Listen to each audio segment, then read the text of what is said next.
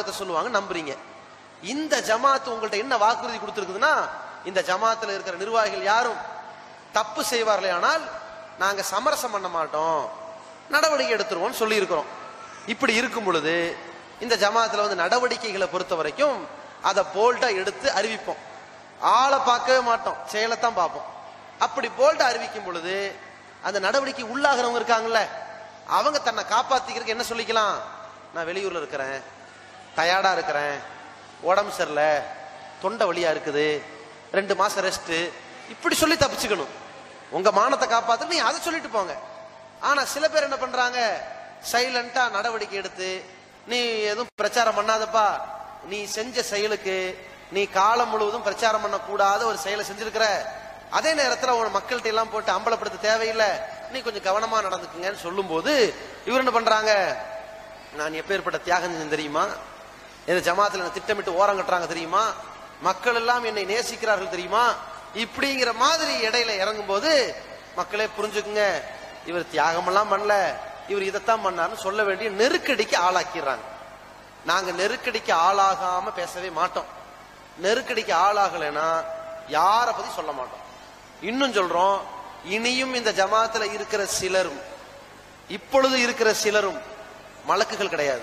அறிஞர்கள் இருக்குது. இந்த ஜமாத்திலிருந்து சில பேர் நடவடிக்கை எடுக்க நீக்கப்படுவாங்க. அந்த நீக்கப்படுறவங்களை என்ன செய்வோம்னா நீக்கும் போதே சொல்லிடுவோம் என்ன சொல்லுவோம்? இங்க பாருங்க. நீ ஒரு தனி மனிதர். ஒரு தப்பு செஞ்சுட்ட. சரி நீ மலக்கு மனுஷன்தான். நானும் மனுஷன்தான். நானும் தப்பு செய்வேன். நீனும் தப்பு செய்வ. தப்பு செஞ்சுட்ட. சரி பரவாயில்ல. நீ அல்லாட்ட தௌபா செஞ்சிரு. நம்ம ஜமாத்துக்குன்னு ஒரு விதிமுறை இருக்குது. நீ தப்பு செஞ்சதுக்கு என்ன செய்யணும்? இப்ப ஜமாத்துல வந்து ஒருத்தர் என்ன செய்யறாரு புகை பிடிக்கிறார். கிளை நிர்வாகியா இருக்காரு. புகை பிடிச்சது தெரிஞ்சு போச்சு. அவரை கூப்பிட்டு விசாரிக்கிறோம். அவர் தப்புன்னு சொத்துக்கிட்டாரு. புகை பிடிக்க கூடாதுன்னு தெரியும் தானே? ஜமாத்து நிர்வாகத்தில் இருந்து இதை செய்தால் இது ஏற்றுக்கொள்ளப்படுமா? நீங்க இந்த வேலையை செஞ்சிருக்கிறீங்க. இது தப்பா இருக்குது. உங்களை திருத்திக்கிங்கன்னு சொல்லி புத்திமதி சொல்லிட்டு அவர்கிட்ட சொல்லுவோம். நீங்க என்ன பண்றீங்க? ராஜினாமா பண்ணிக்கிங்க. நாங்க உங்க குறையெல்லாம் வெளியே சொல்ல மாட்டோம். சரியா? குறையெல்லாம் சொல்ல மாட்டோம். நீங்களும் உங்க குறைய சொல்லிக்காதீங்க. நீங்க என்ன செஞ்சுக்கணும்னா யாராவது கேட்டா எனக்கு வேலையா இருக்கு. நான் வெளியூருக்கு போறேன். எனக்கு பிசினஸ் பார்த்துக்கிட்டு முடியல.